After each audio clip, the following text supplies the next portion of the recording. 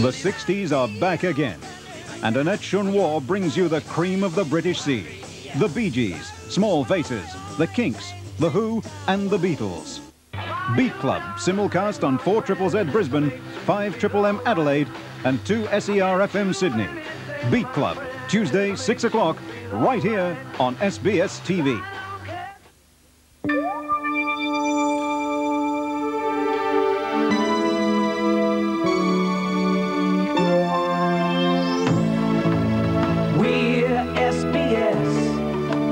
Bringing the world back home. A very good afternoon to you. Thank you for joining us on uh, SBS National Television.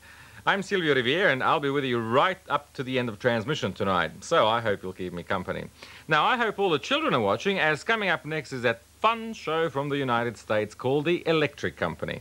And of course, every weekday at this time, we have programs for children, as well as at the beginning of transmission over the weekend. Six o'clock, Les Murray and guests will give us a post-mortem on the weekend's National Soccer League matches.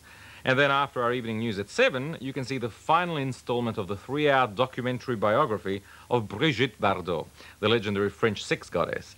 And there's more drama and twisted plots in tonight's episode of 10 Herenstraat, our mini-series from the Netherlands, Holland.